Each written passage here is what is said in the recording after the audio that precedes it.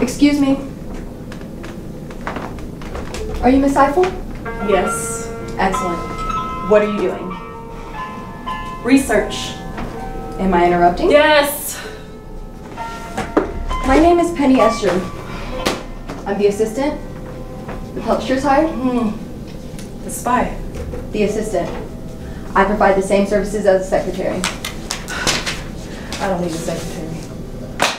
Well, then I'll have to find some way to occupy my time. And watch over me like a vulture so I don't get distracted.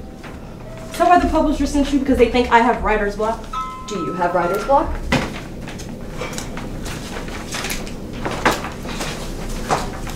Are these pages? Her letters. Are you writing back? I don't have time to respond. Or I imagine you smoked all these cigarettes? No. They came already pre-smoked. Right. They mentioned you were funny.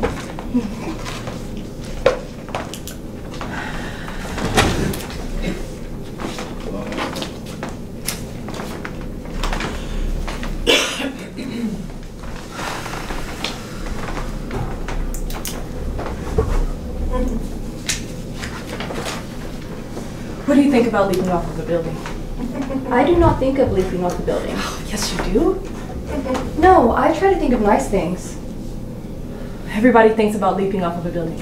Everyone. I certainly do not think of leaping off buildings. You know, they say that, oh, you know, I actually read this fantastic, this fantastic, depressing book about when you jump to your death, it, it's really the impact that kills you. Well, I can't imagine that would help. In the, in the book, it was a photograph. Photograph.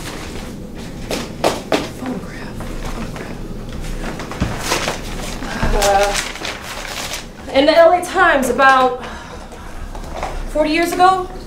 I mean, it's old, but God, it's beautiful. it's about a woman who jumps for her death. Mm-hmm. Right here. And there, and there, just like blood all around her head, like a halo. And then her legs are tucked under her. And then her arms are snapped like a twig. But she looks so serene. You know, it's like at peace.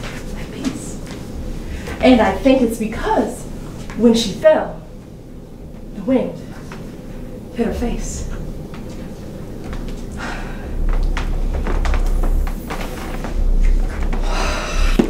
Oh, I don't know how to kill Harold Crick.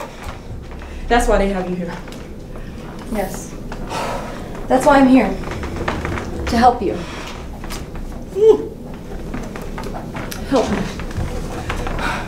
How are you supposed to help me, huh? You! You who don't even think about jumping off of a building! What, what insane, interesting things do you have to tell me? You who's been an assistant their whole life, what? You have no inval on killing a man? I understand. But do you? I can't just.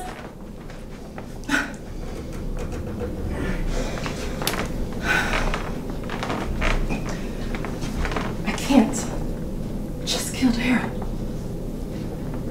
I can't.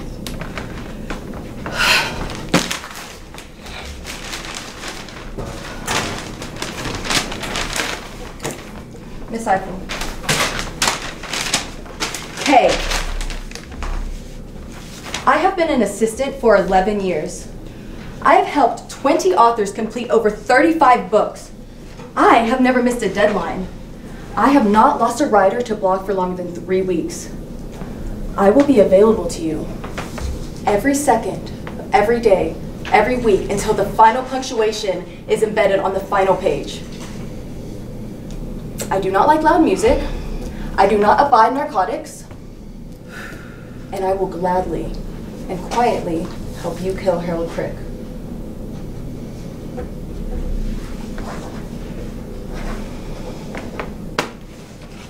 So where do we start? Scene.